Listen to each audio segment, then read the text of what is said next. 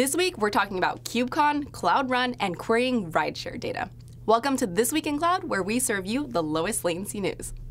Even if you didn't get a chance to attend KubeCon this year, you can still catch all the biggest announcements in one place with this KubeCon wrap-up post. Check out cool news like monitoring Kubernetes with Stackdriver and see examples of customers transforming their industries with Kubernetes all in one place. Read more and see how GKE puts the E's in Kubernetes. We announced Cloud Run at Next, but that doesn't mean we're done just yet. Check out all the latest on the GCP blog to learn about some new improvements to Cloud Run, like Cloud SQL support and metrics at a glance. You can also check out the talk from Next for a deep dive of how it works, so take a look and start getting the most out of Cloud Run. As if BigQuery couldn't already do enough, now you can get insights even faster thanks to BigQuery BI Engine. In a new post, developer advocate Felipe Hoffa built a BI dashboard and explains how to predict travel time based on a location and time of day with a public dataset from Uber.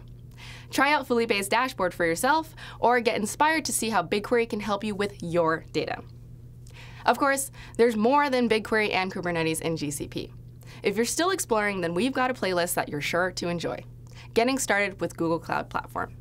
This is a great set of resources to learn some new tips and get the basics on a wide variety of topics, from setting up roles to spinning up compute and storage offerings.